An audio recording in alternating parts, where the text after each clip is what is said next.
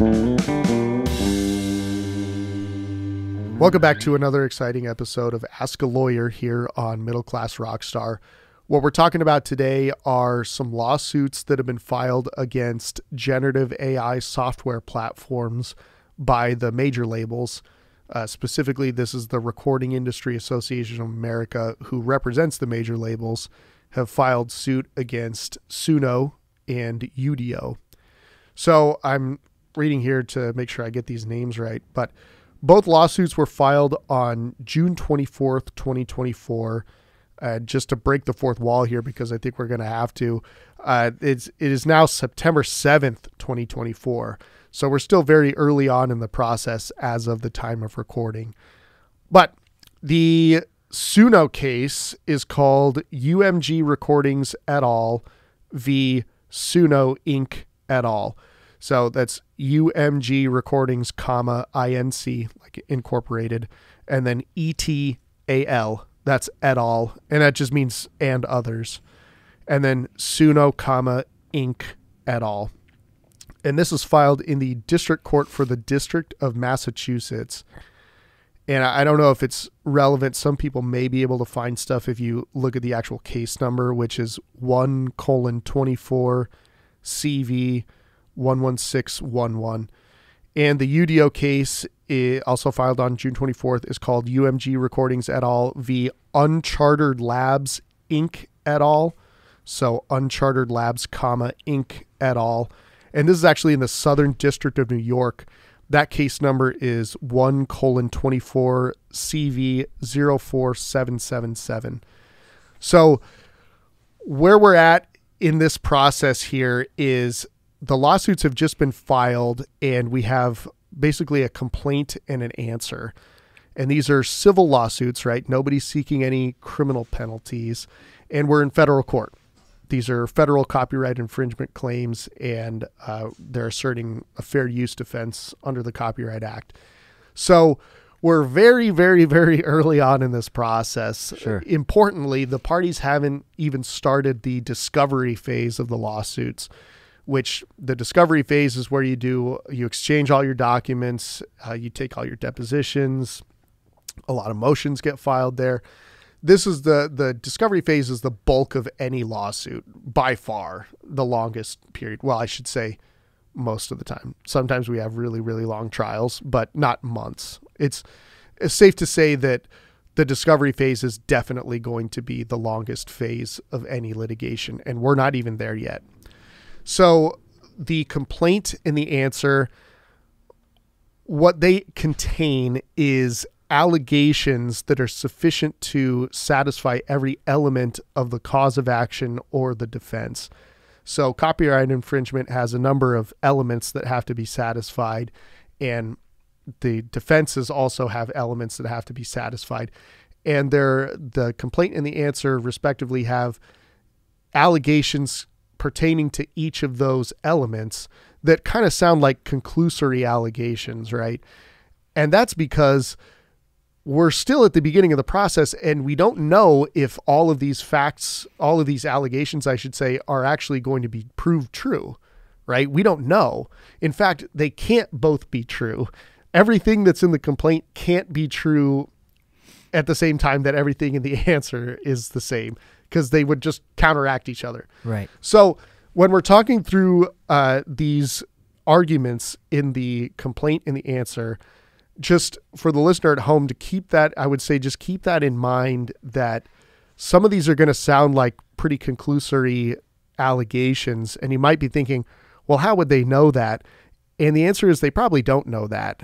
Um, now, it has to be based on something. You can't just walk into court and say, you know, start talking about something that you have no basis for believing, but it, it may turn out to not be true or not be true in the same way that the person is saying it. So the plaintiff's complaint shouldn't be understood as this is actual, you know, gospel truth and the answer shouldn't be read as oh this is gospel truth as well.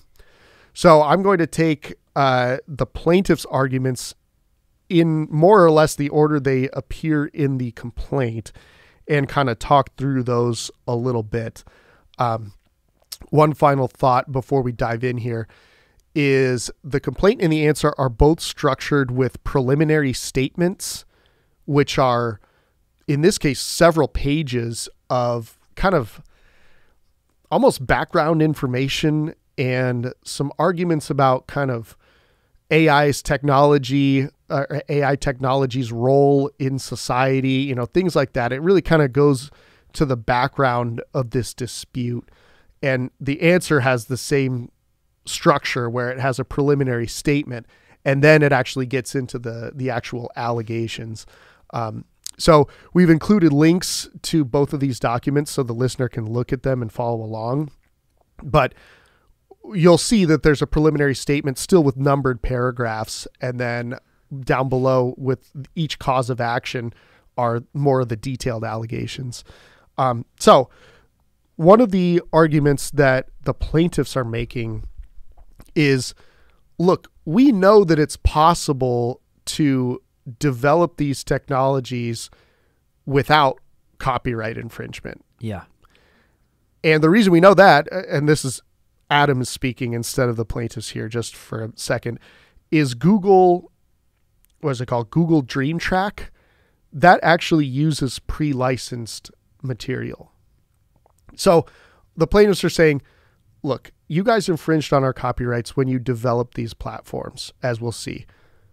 And you didn't have to. That's one of the arguments that they're making. Another argument that they're making, this is important for the fair use defense, as we'll see, is these output works actually compete with genuine sound recordings for streaming revenue, right? Some of these songs that have been created using Suno have been uploaded to Spotify and have generated tons of streams. And that output work would not be possible if they didn't infringe on all these copyrighted works. And it's not fair because the major labels spent a lot of time and money and energy developing the artists who created those sound recordings. And the defendants, the software platforms in this case, took all that, used it, and didn't license it. Another argument that's sort of related to that is the output works also compete for licensing money.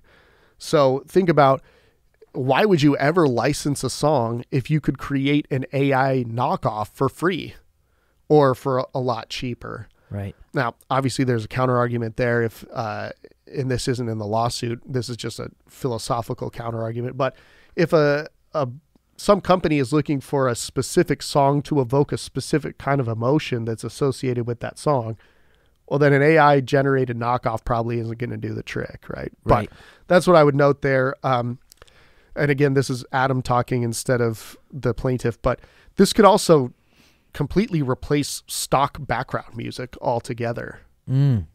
Right? Remember, Yeah. at least as it stands right now, and, and certainly back in the day, you would go into a recording studio and there would be a wall of tapes with they're categorized by mood and length and all that kind of st- all the descriptive words that you would use to generate your prompt for the AI Right. and then you would take that track and use that and it's all pre-licensed. Sure. This technology could theoretically do away with Wipe all of that that out. Yeah. there's no need for it. So, those are kind of more of the background, uh, almost policy arguments that the plaintiffs make. And in terms of the actual infringement itself, this is the crux of the lawsuit is that Suno and Udio took basically all of the plaintiff's sound recordings and they inputted that into their software platform to train the model so that the software platform would know what a bluegrass song sounds like so that it can generate a bluegrass song, right? Right. In order to, uh, another way I've heard it phrased is in order to create a painting, the AI has to know what a painting looks like. Right. So that's what uh, th- the crux of the actual argument is the only way to make this software work is to input tons of data in the form of pre-recorded music. And by the way, we plaintiffs never gave you permission to do that. Yeah. You guys copied these sound recordings without permission. That's copyright infringement. So, how do they know this? Well, the plaintiffs designed experiments to run on the software platforms whereby they used prompts specific enough to try and see if they could generate an, a song recording out of the output that sounds so similar to the original recording that there's no way that you could have that output without actually copying. Mm. That's the idea. So in the complaint, they listed a number of, uh, they actually included the sheet music for some of these songs. And they kind of have a side by side comparison of the original song as recorded by the artist and then the output that they were able to generate. So we could go through one or two of those. I think it'd be fun. And, you know, fortunately for us, we have you here. So you can play these and give us an idea of what these kind of sound like. Uh, we have Sydow, who, you know, is a very accomplished singer songwriter. You know, you can sight read all these things and, and sing them and, and give us an idea of what they sound like. Okay, in this segment, we're going to talk a little bit more about Suno and Udio and some of these generative AI programs. Um, if you, if you listen to our last segment, we I'm going to repeat exactly what we did at the beginning, where Adam and I gave a text prompt um, to the program Suno about our friendship and reuniting after several years to do this podcast episode, and we asked it to make a song for us. So we're going to do an example really quick and then talk about some of the allegations here, some of the lawsuits between record labels uh, and these companies that are that are creating these uh, that are generating AI songs for us, which we can agree uh, is a lot of fun for those of us that that are just doing it for a good time. Like I want to hear a a, uh, a death metal song about my daughter. It's fun Sure. But there's rules and there's and there's laws and stuff at play here too. So anyway, to start off, I typed this prompt into Suno. This is a song about Adam and Andy. They met in music school at the University of Colorado at Denver. They had several classes together, but their favorite was the Claim Jumpers Trad Jazz Ensemble, where Adam played drums and Andy played piano. Since graduating over 10 years ago, Adam and Andy have stayed in touch periodically. Now they are reuniting in person for the first time in many years to create the greatest podcast of all time. Okay. And now, uh, last time I shared the first song, which was a bluegrass fiddle female vocalist song. This time, I asked for hard rock with big drums and shredding guitar. Sure. With a male vocalist. I'm in. And uh, this is what Suno pumped out. I'll just put it up to the camera here.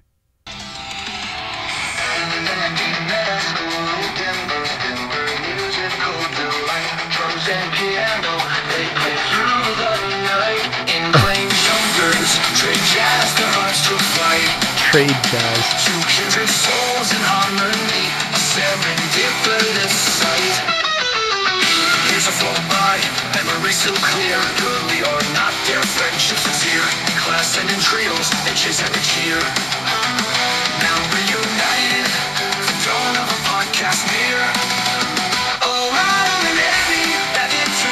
a symphony of stories under the moon.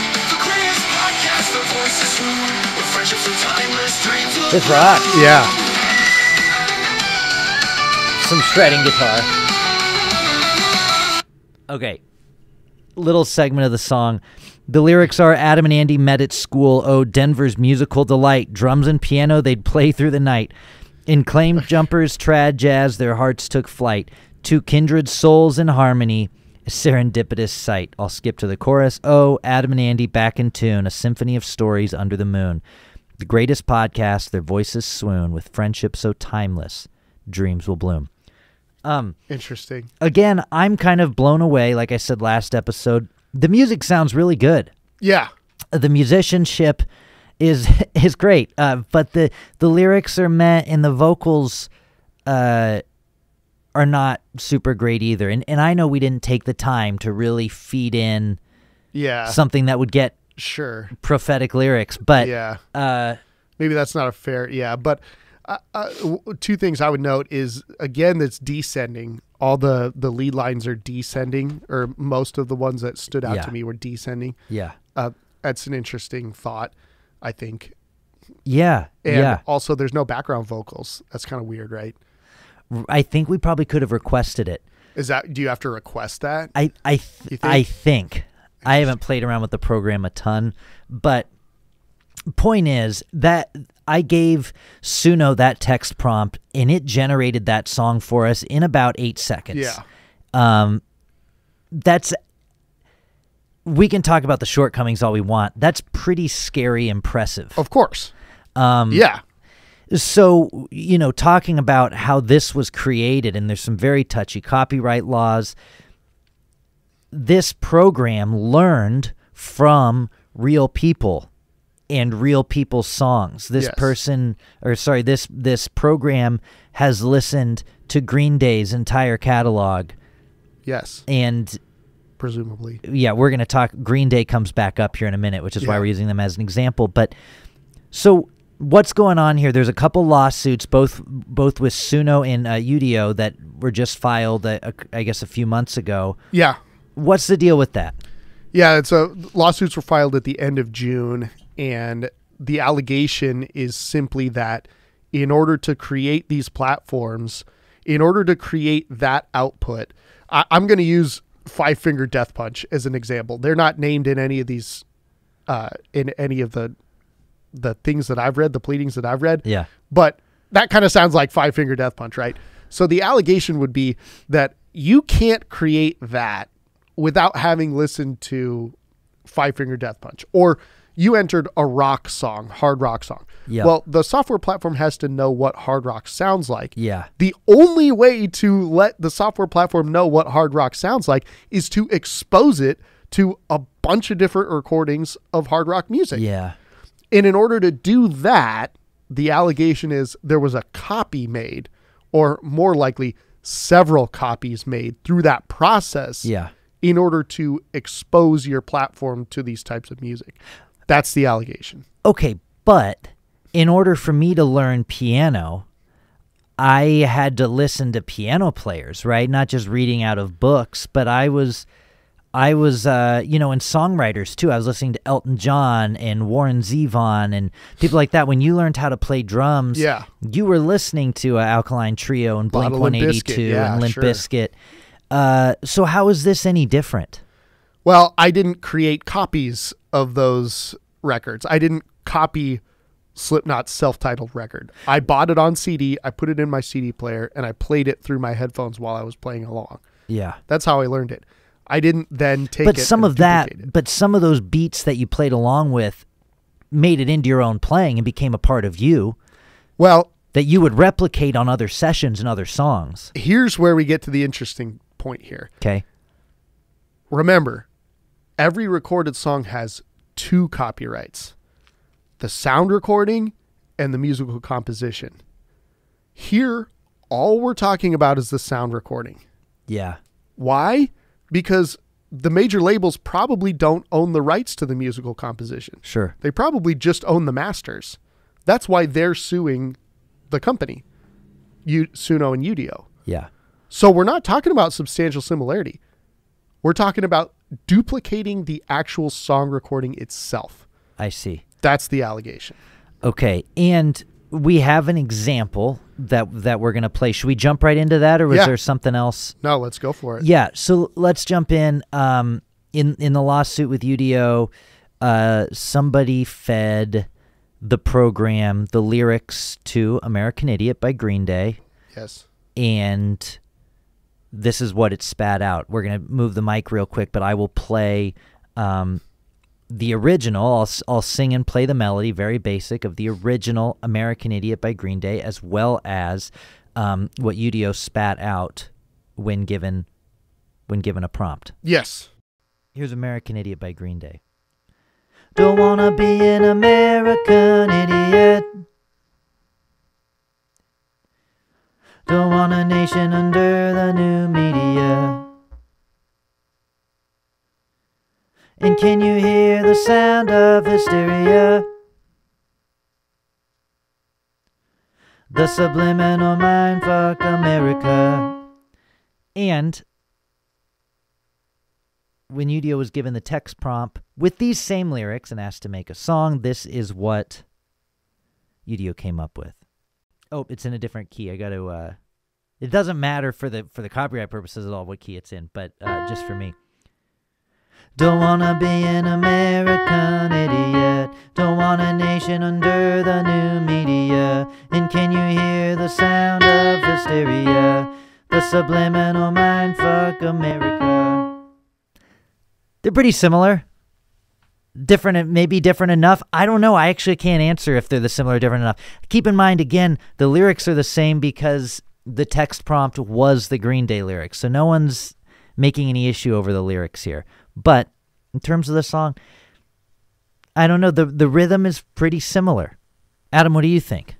Yeah, so we just heard those two, and I would note that uh, you said the key doesn't matter for copyright purposes. That might be true if we were talking about the musical composition.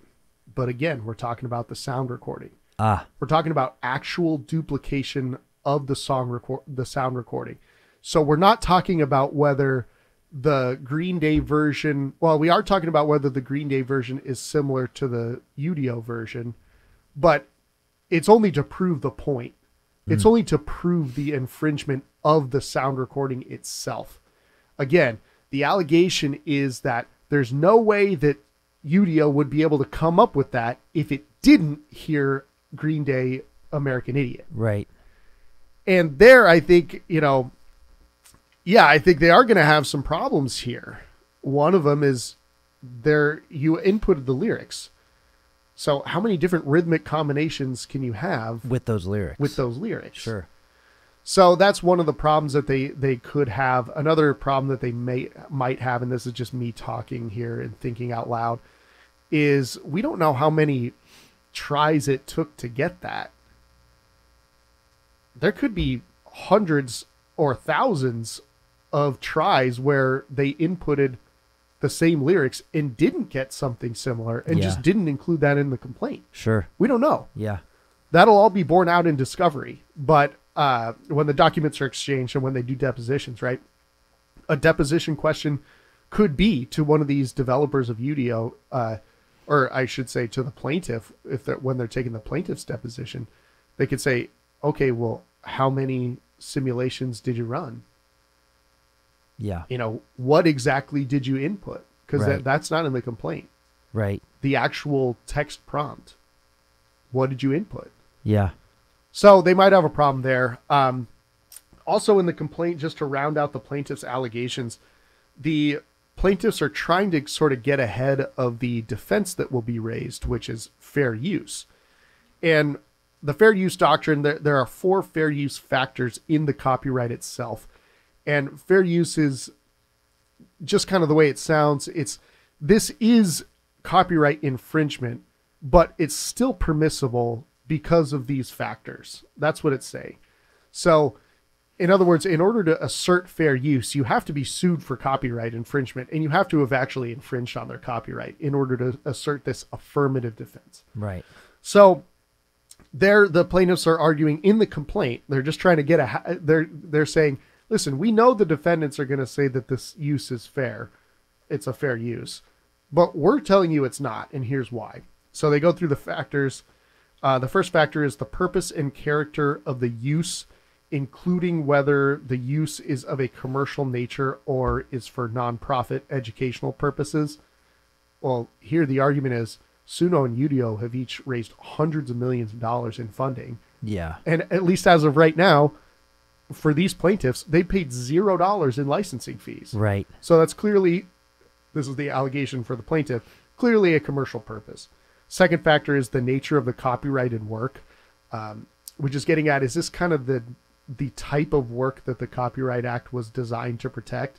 We're talking about recorded music, so the answer to that is yes. Mhm. I I don't I don't think the defendants would argue that that factor weighs in their favor. I think they would concede that that factor weighs in favor of the plaintiffs. Yeah. The third factor, and again, these are not the exclusive list of factors. These are just the four that are enumerated in the Copyright Act itself. The third is the amount and substantiality of the portion used in relation to the work it's, itself, the work as a whole. And here I think the argument is well, they at least copied the most crucial elements of the song, elements of the sound recording. Mm. Why? Because the software platform wouldn't really work very well if it didn't copy the most recognizable parts of those sound recordings. Yeah. That's the whole point. And then the fourth factor here is the effect of the use upon the potential market for or value of the copyrighted work. And I, I mentioned this earlier that in the preliminary statement, the the plaintiffs say, "Hey, these are damaging the our works potential streaming revenue and licensing revenue."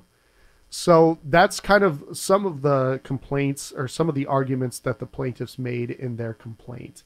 Um, and that's yeah, that's that's where we're at.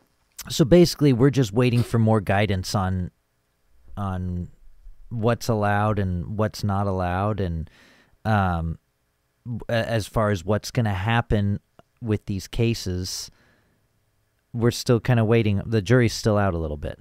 Yeah, the jury's very much out. The, the, there is no jury at this point. No, no, we haven't even gotten that far. We're still, again, we're very, very early on in the process and all we have is the complaint that I just went through some of the aspects of, and then we have the answer, which is responding to the allegations in the complaint, as well as the defendants give their own preliminary statement going through kind of the background.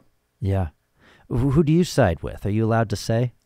Uh, I don't know. I mean, it, it's it's going to be the fact that no documents have been exchanged, no depositions have been taken. It, it's really, uh, well, I guess jumping into the actual answer filed by the software platforms, they admit to copying. The software platform said, yes, we did copy your sound recordings. But the only reason we did so was so that we could give our software platform the sound recordings to analyze for the building blocks of the music itself. So, quote, what various genres and styles sound like how songs in those genres and styles are harmonized and structured, the characteristic timbres of the instruments and vocalizations in those genres and styles, etc. So none of those things are copyrightable, right? These are just general kind of trends in the genres so that you as the user can input a specific genre and know what's going to come out of it or at least have an idea of what that's supposed to sound like. So that's kind of their uh, that's their they admit to copying, but that's why. Mm. And sort of stepping outside the answer in the media, the software platforms have made some other kind of allegations or defenses, uh, you know, for their position. One of which is just that they've eliminated any barriers to entry except an internet connection and understanding kind of what you want to hear in terms of creating music. Yeah. So you don't have to be a good you don't have to learn to be a musician to to create something. To create music. You no longer have to be able to create music to create music. Yeah. That's what they're saying. Yeah. Anyone in the world with an internet connection can now figure this out. Yeah. They're also saying they're likening this to you listening to whatever your favorite you're listening to a bunch of Anders Osborne and then writing music on your own well, clearly his work is going to influence that. That's why you're doing it. That's mm-hmm. why you're listening to it. Right. Um, they also have raised the argument that at least Suno has.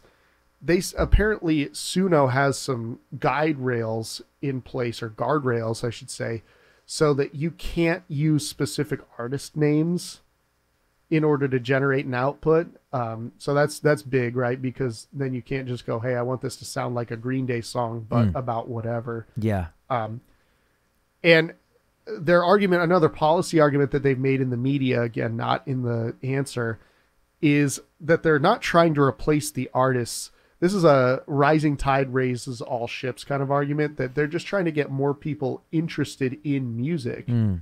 And this is a way that lay people, so to speak, people who don't know what a C major scale sounds like, can create music. Right.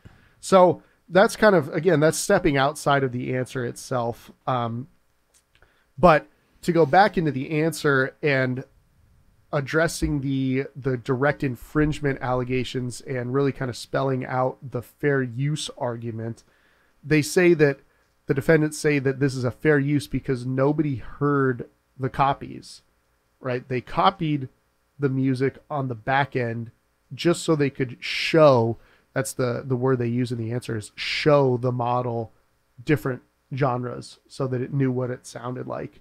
Um, and really, the crux, the ultimate thing, and this is kind of getting a little bit in the weeds here, but ultimately, what the defendants are arguing is hey, in previous cases, there have been fair uses even when there's unauthorized copying and those unauthorized copies are used to develop a product that directly competes with the infringed on works. Yeah. So that's their real argument is that, hey, this is a fair use, just like all these other fair use cases where the use has been held fair, uh, even though those technologies, it's really a technology thing, has been, you know, has competed with the actual infringed on works. And there, I will say, Adam will say, that seems to be true. I didn't read all of the cases, I, I read some of them. But fair use is a very fact intensive inquiry, as we saw with those factors. And again, those were just four factors, not an exclusive list of factors. Mm. So that may be true that other uses have been held fair in those contexts, but that doesn't necessarily mean that this one will be fair.